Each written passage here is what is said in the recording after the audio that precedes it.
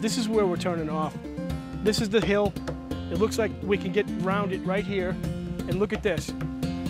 This is quintessential Georgia. It's beautiful. And it's all ours today. It looked to me on my Magellan, that's topographical map said there's a stream down here.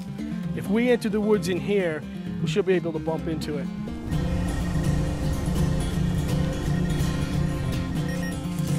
We're in gold country.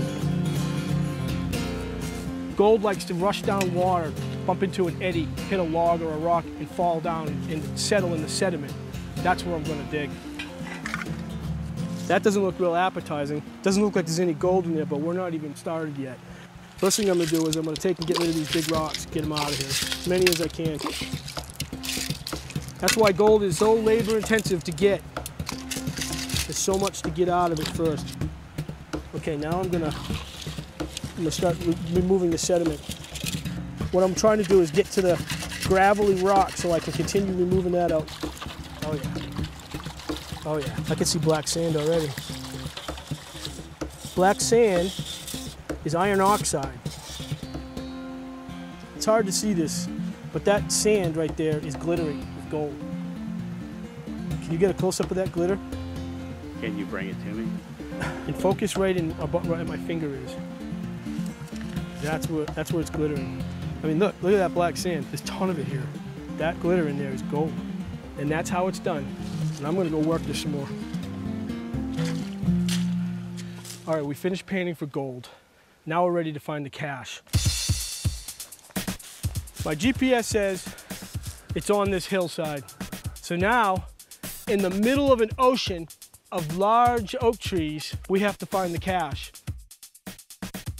We're about seven, 800 feet from this thing, straight up that hill. And the clue was at the base of a large oak tree on the website.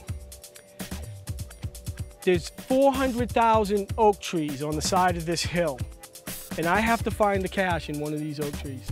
What the hell was I thinking? So now you're telling me you're going to walk down the hill? Yeah, we gotta walk back down the hill Okay, we got to walk down why? because we have signal bounce in this GPS. So if you give me a minute, I'm gonna walk around and, Well, leave your pack and I'll uh, wait here. all right, I'll guard your thanks. You're the man. Tell me about it on your way up. I can't breathe. Otherwise, I would. This sucks. This is what makes geocaching fun, exciting. Now I have to come back, check my coordinates, re enter them, and try it again. Because I know the sucker's right here. There's, there's one of the mistakes right there. I punched the wrong coordinates in. We're within 379 feet that way. So now I turn around and go to it. We're going in the right direction.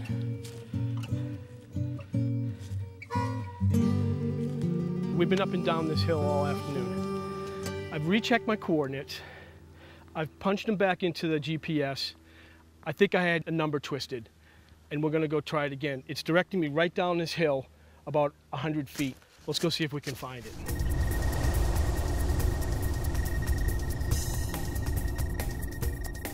It's time for me to stop and become a detective because it's not gonna bring me right to the cache. I have to look for it now. That's half the fun of geocaching. These here do not look like oak trees to me, but there's a couple of large oak trees. There's one over, there's two over here, and there's one right here that I should probably start right here and look. Up, up, look, look, look, here it is. Here it is, right here. This is what we searched all day for, this little Tupperware box. This, this trip is amazing because it's really not so much the cache that was the excitement for me today, although this is exciting. We panned for gold, we caught snakes in here today. We're out in a beautiful forest, a gem in the middle of Georgia. And this is what brought us here today. Now what I like to do with these caches is I like to take it out of its hole. I'm gonna walk up to my pack, I'm gonna sit it down, open it, and find out what's inside. I'm not digging, I'm dumping. I'm a dumper. Faith Hill. I think she's like the hottest thing on earth. Look at those eyes. I might take that with me. Would that be stealing? No, because we're gonna leave something. Don't you get how this works? Look, oh, geocaching, you know, we take something, leave something. That's some of the fun about this. That way there'd be something here all the time. And besides, look, look, this is from geocaching.com. And these, they want to go all over the world. Normally I might take something like this, but today, faith wins out. Sorry, Sam and Barbara. You lose. Say bye.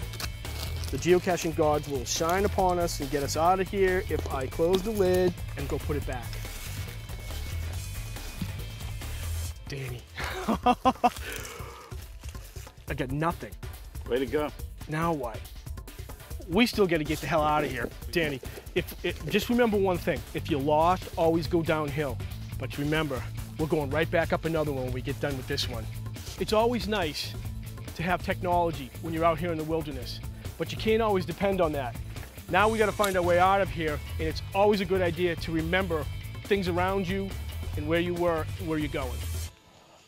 We have to get out of here now, and I don't know where we are. What do you want to do? Well, I, I, I think I told you repeatedly about the whole battery problem. I mean, I had four batteries. I, but I'm didn't know that two of them were already dead. I'm taking pictures. It's your responsibility to take care of the batteries. That's all you got to do. All I know is that we got to get out of here. Yeah, well, where's the where's the truck? No, no, no. We, we need to get going. The fun is over. We need to get to the truck. Let's keep let's just keep going downhill. All right, let's just keep going. Then.